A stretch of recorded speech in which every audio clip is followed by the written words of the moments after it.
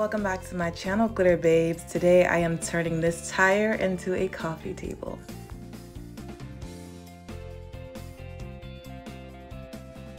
I will first start off by cleaning it with this awesome spray and I will be also wiping it off with dish detergent.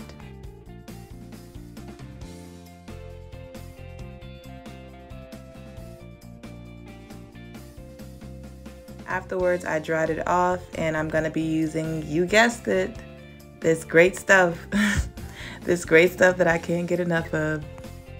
And as you can tell, I was a little nervous at first because I didn't know what type of design I wanted to do. So I was just doing anything. But once I got to the other side of the tire, I was comfortable. And with doing this project, I did have to wait until it dried um, before I could do the other side. So it took me like three rotations to fully get the tire covered. Oh, and I'm gonna put y'all up on game. So I was thinking about this DIY and I was like, I see tires on the side of the road all the time, but I bet you I won't find one today. And I didn't. So I was like, where can I find a tire? So I went to like my local tire shop and I just randomly asked them if they had some tires that they weren't using and I got it for free. So if you want to do this project, go to your tire shop. So I turned this tire as much as I could and I let it sit and as you can see on the right side it's dried so I was able to rotate it more.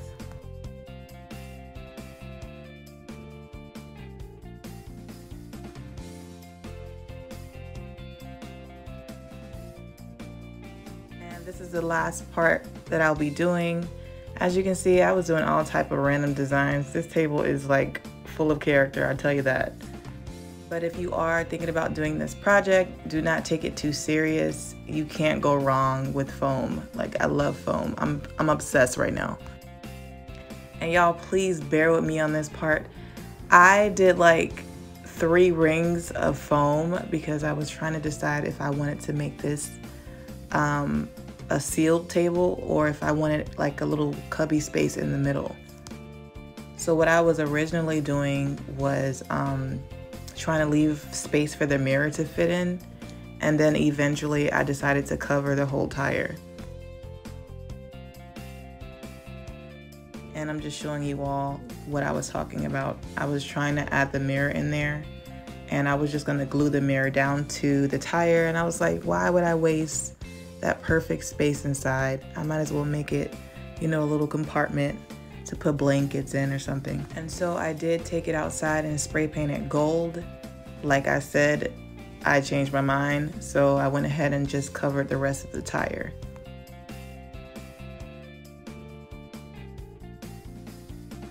Next, I flipped the tire upside down, and this is a pre-cut piece of um, cardboard that was attached to the back of the mirror that I'm using on the top.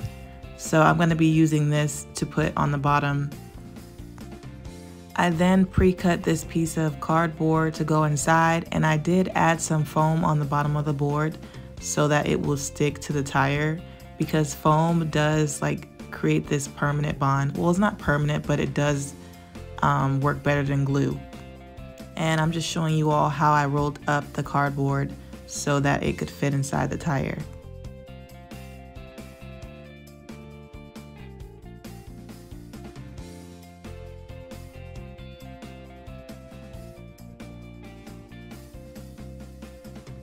And I did go around the bottom of the cardboard with uh, my hot glue gun. I just didn't show that in a video.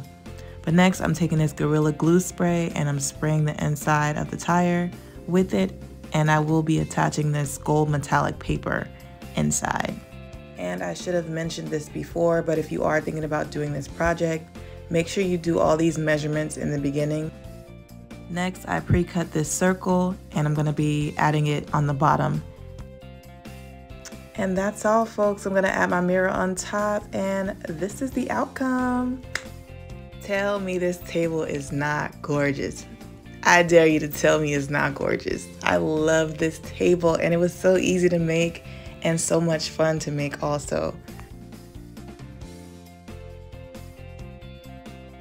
And I paired it with the body mirror that I made last week And if you're interested in that DIY, it will be in the description box below.